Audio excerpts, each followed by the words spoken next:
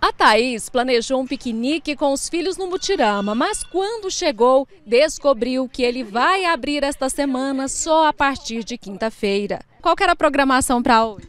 Trazer minhas crianças para vir brincar, né? Nós fazer um piquenique, mas aí nós chegamos, tá fechado. E nós não sabia que tava.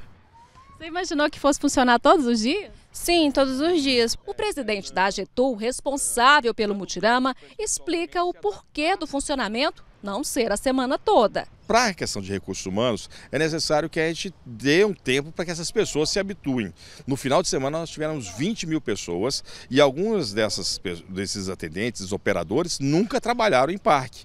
Trabalharam simplesmente, ou não, não tão simplesmente assim, mas com o treinamento que nós demos a eles. O treinamento se mostrou eficaz, eles trabalharam bem, atenderam bem, mas nós queremos que eles também tenham cada vez mais prazer de trabalhar aqui, de atender nossas crianças e atender bem. Então, para não ter mais confusão, se você quer aproveitar as férias nos brinquedos, atenção para os dias certinhos de funcionamento. Vai abrir nesta semana, de quinta-feira, dia 4, até domingo, dia 7. Depois, reabre na quarta, dia 10, até domingo, dia 14. E a partir do dia 16, funciona de terça a domingo até o fim das férias. Depois, de quinta a domingo. O horário é das 9 da manhã às 6 da tarde. A entrada continua de graça.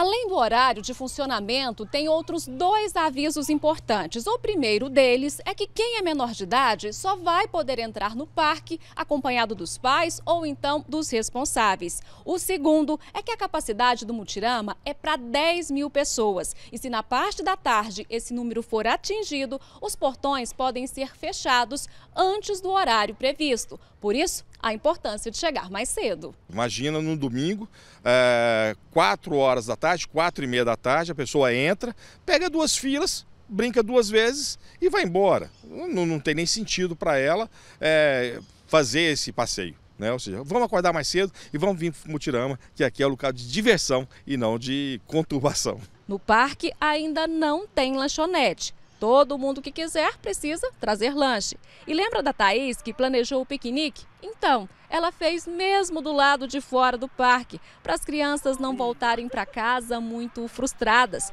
porque o que elas queriam mesmo. Brinquedo, brinquedo. Brinquedo.